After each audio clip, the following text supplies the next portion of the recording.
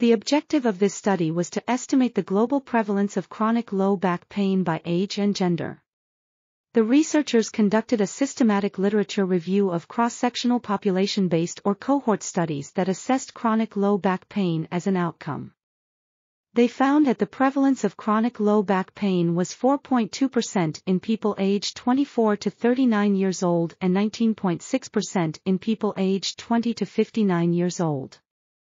For people aged 18 and over, the prevalence of chronic low back pain was 3.9% to 10.2%, 13.1% to 20.3%, and 25.4% in Brazil. These results suggest that chronic low back pain is increasing linearly from the third decade of life onwards, and is more common in women than men. Additionally, the authors recommend using a consistent definition for chronic low back pain, including a precise description of the anatomical region, pain duration, and limitation level. This article was authored by Rodrigo Dalke Meucci, Ana Claudia Gastal Fassa, and Neice Muller Xavier Faria. We are RTCL.TV, links in the description below.